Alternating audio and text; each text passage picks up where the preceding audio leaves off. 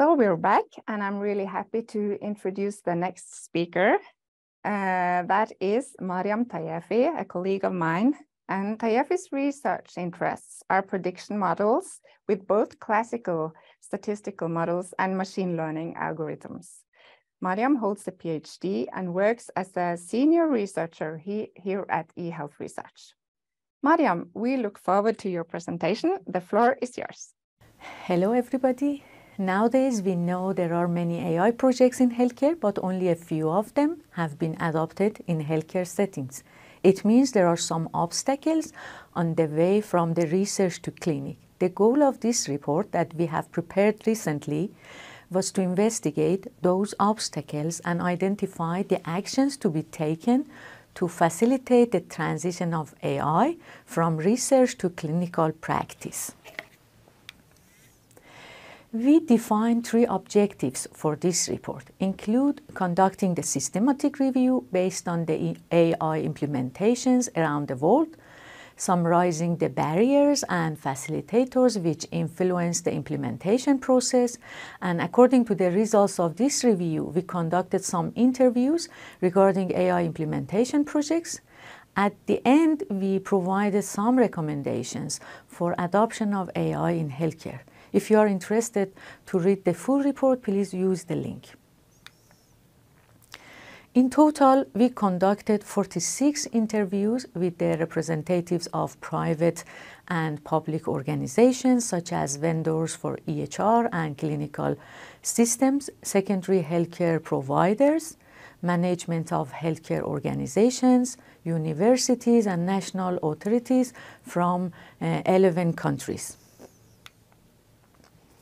In addition to this scoping review and interviews, also we studied relevant reports about AI implementation in healthcare and national strategies for AI in some EU countries as well as the UK and the USA to understand the trends and plans for further development of AI. Also, we have drawn an action plan for the health authorities to facilitate AI implementation in healthcare organizations. The definition of artificial intelligence is between publications. In this report, we associate AI with machine learning, algorithms that employ data-driven methodologies we use the term uh, artificial intelligence to describe computer programs able to process large volumes of data using computational statistics and machine learning techniques, identify patterns, interpret them, and make prediction for new data entering the system. We distinguish between developing a solution and implementation in clinical situations. Development implies constructing a solution based on the given criteria, uh, which includes creating a model, test, training and testing it. We defined implementation as the integration of a solution into a healthcare system when it becomes a part of a clinical process. For considering all aspects of AI implementation, we have investigated several topics as a background we consider the AI as a medical device, regulations regarding development of AI solutions, authorities' responsibilities for these regulations, uh, different ways, uh, ways of obtaining AI solutions, and how we can uh, license these models. Healthcare providers can produce medical equipment for internal use software that is intended to be used alone or in combination with other equipments for the purpose of diagnosing, preventing, monitoring, treating or alleviation of a disease, injury or disability is considered a medical device software. Uh, there are several regulations and requirements for a medical device to be marketed. One of the requirements to obtain uh, is, uh, is to obtain a CE mark. A CE mark indicates that the product complies with the medical device regulations and meets specific uh, standards of performance, quality, safety, and efficacy. It doesn't assure whether the data the system has been trained on has been ethically collected. It neither guarantees the system will work properly on a given patient population. We describe the process of obtaining a C mark in details in our report. Also, there are several other regulations for development of AI within research, development, and the use of clinical decision support tools and quality improvement. Some of them are common for any AI solutions like GDPR, and others can be relevant depending on the, predict, the project type, such as uh, in vitro diagnostic regulations. There are three ways to obtain AI solutions in healthcare organizations. Obviously, each alternative of them uh, has been advantages and disadvantages a healthcare provider can decide which way to take depending on available resources and competences. However, from the interviews, we see the AI implementations that are successfully deployed into a clinical workflow and beneficially utilized employ a hybrid approach, a cooperation between a healthcare provider and a vendor. Through the scoping review and interviews, we explored the current status of the AI implementation and found many barriers to AI adoption in healthcare. I will go through some of these barriers briefly. There is a lack of trust in AI and also lack of knowledge about AI. Explainability and interpretability of AI solutions are complicated also, there is a little involvement of healthcare professionals in implementation process. There is a no defined implementation process. Also, validation process of algorithms are long and challenging. There is a fragmentation in the organizations when it comes to the decision making and funding. The regulations are complex and have different interpretations. Some of them are out of date. Obtaining CE mark is expensive and time consuming.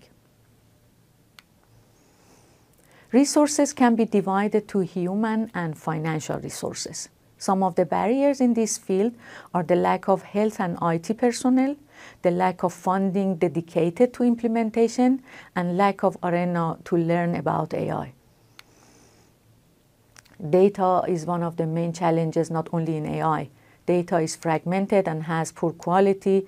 The ethical committee approval for data collection is long and time consuming process.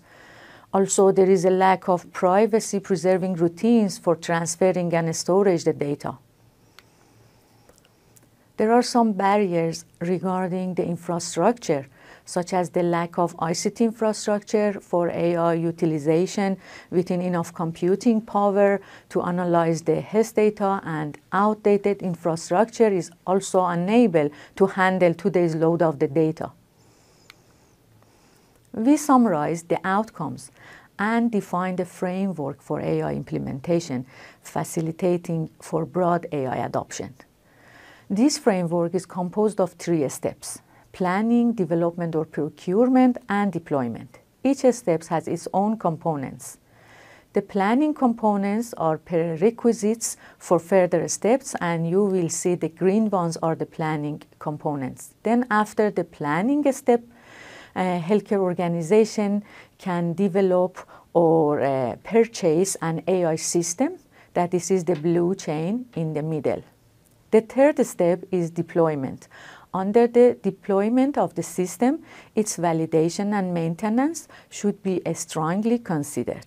As you see, it's like a watch mechanism with many gears working together, where each gear is important and should fit to the other for the whole mechanism to work. However, with these challenges, broad adoption of AI implementation requires several actions to be taken on the national and local levels. We have some recommendations for AI adoptions uh, to authorities and healthcare organizations. For each category of that barriers I have already mentioned, we have some recommendations which uh, here we have summarized them and we can have more details through our report. We can increase the knowledge about AI by including AI in curriculum of medical students, offer AI foundations for all the healthcare employees, promote knowledge about AI among citizens through different activities. We can have multidisciplinary team from data scientists, technicians, and clinical domain experts. We can organize an iterative development process, involve healthcare professionals, having a strategic support from the management of healthcare organization, exploit innovation offices to support for planning, regulation, licensing, and commercialization. We can publish a guideline on implementation process, and we can promote cross-disciplinary cooperation through competence networks and digital innovation hubs. Actions for regulation component are time-consuming. It's required proper interpretation, who is responsible, and how to start. We should develop a unified and concise legislation for secondary use of health data, which will be aligned uh, with the future regulation for the European health data space.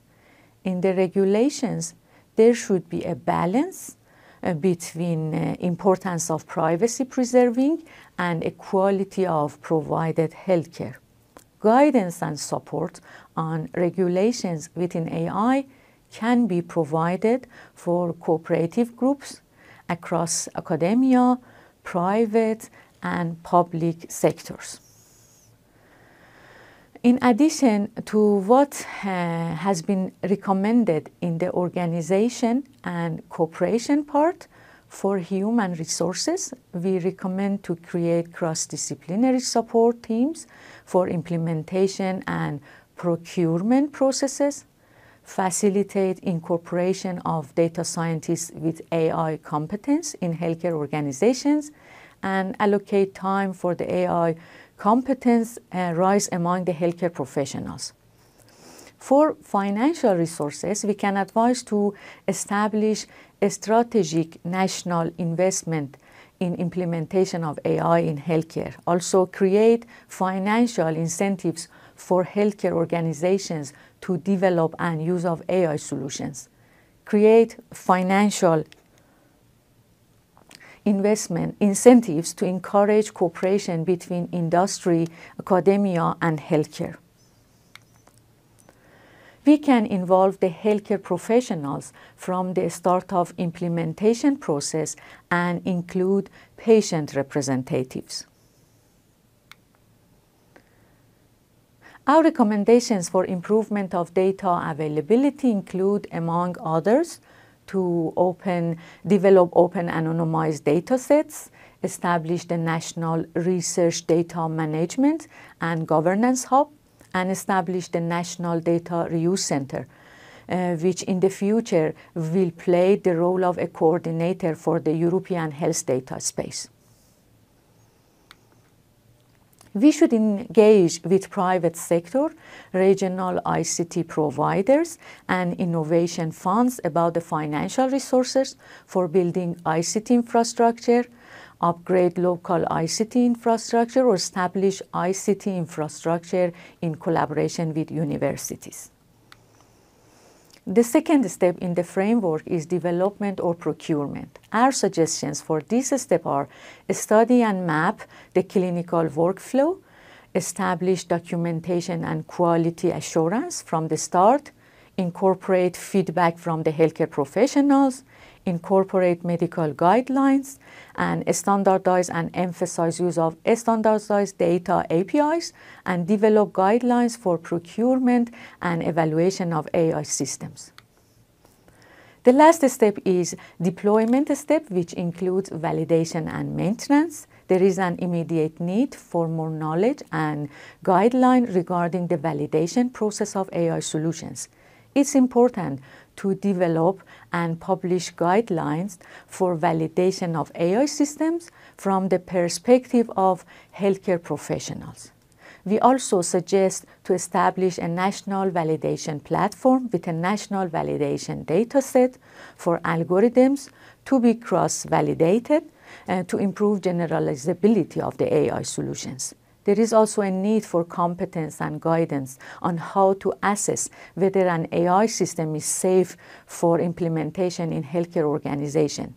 This step is very important before the deployment of the system, as in the case of failure or incor incorrect perform validation, use of such systems will expose patients to medical errors such as injuries or even uh, death as well as privacy breaches. Maintenance of the AI solution also implies continuous performance monitoring of the system in clinical use to be ready to stop its usage in case of a risk to patients because of low performance together with the action plan in the case of failures and addressing performance drift, data storage, system updates, and user, uh, user support.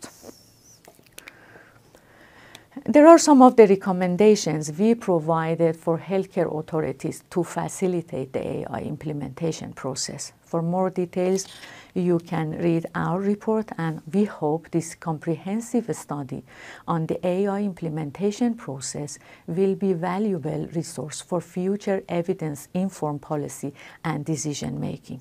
Thank you.